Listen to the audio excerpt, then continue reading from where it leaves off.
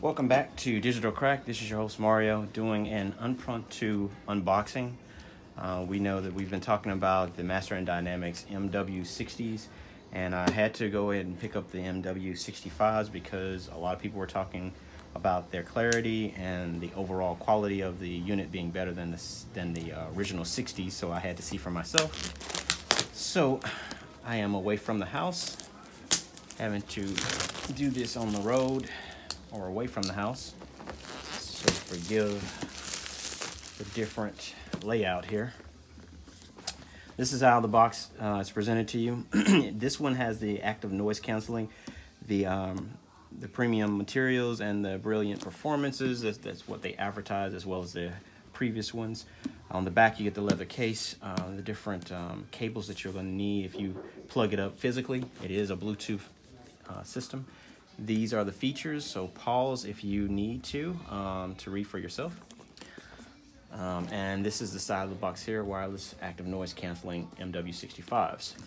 So these also tout the Google Assistant.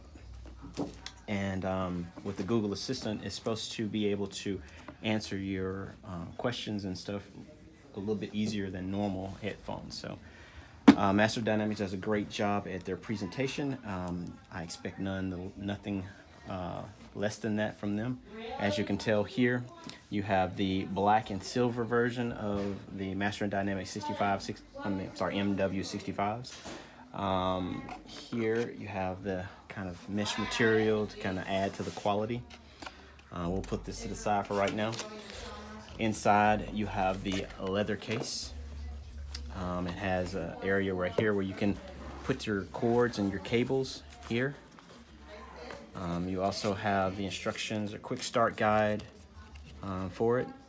Nothing new here outside from the active noise canceling button on the unit now. So we'll put all that to the side as well.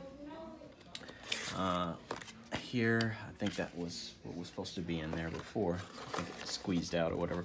But here's the cables, very high quality cables as you can tell. Uh, it's braided cables, um, very, um, I don't know, very unique to its to its design. You have your airport, um, airplane adapter rather. You have your USB to USB-C um, adapter, which is a good thing because these are USB-C chargeable units. That's a great thing for those people out there that are dealing with USB-Cs. This uh, prevents you from having to take around a lot of different cables. So that is all good. Um,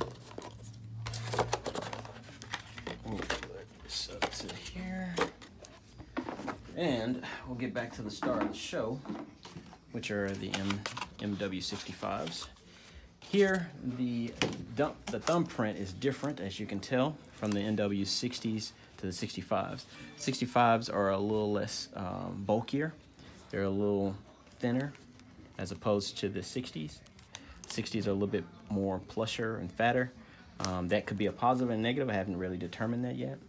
Um, the only difference here on the button layout is the active noise canceling button here that will actually act activate your noise canceling, whereas these are passive, not active. So that, that plays a big part.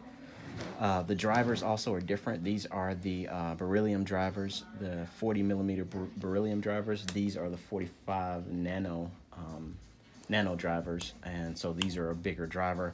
Does bigger mean more quality? Don't know. Does bigger mean more bass? Don't know that's what we're going to have to determine here. And so that's what I'll be doing the testing on uh, from here out. And I will be doing a follow-up video based on that conclusion. So thanks for visiting Digital Crack, guys.